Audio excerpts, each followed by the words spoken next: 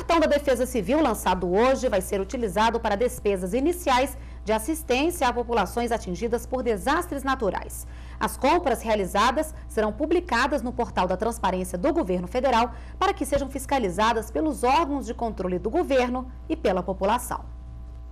O cartão foi desenvolvido pelo Banco do Brasil e poderá ser usado para despesas com ações de socorro, assistência às vítimas e no reestabelecimento de serviços essenciais. A ideia é que o cartão de pagamento de defesa civil diminua a burocracia na liberação de recursos para estados e municípios em situação de emergência e calamidade pública. Os técnicos da Secretaria Nacional de Defesa Civil, junto com os técnicos da CGU, é que idealizaram este produto.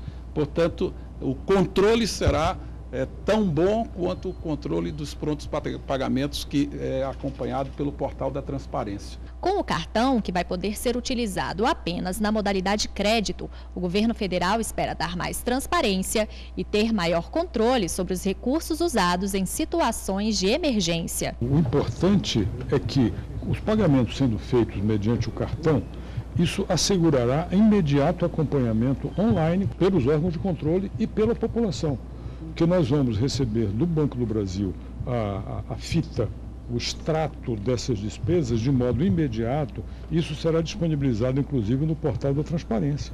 O Ministério da Integração e o Banco do Brasil vão distribuir 10 mil cartilhas com orientações sobre como funciona o cartão e como ele pode ser utilizado. Inicialmente, o cartão será entregue a 25 municípios dos estados do Rio de Janeiro, Alagoas, Pernambuco, Rio Grande do Sul e Santa Catarina.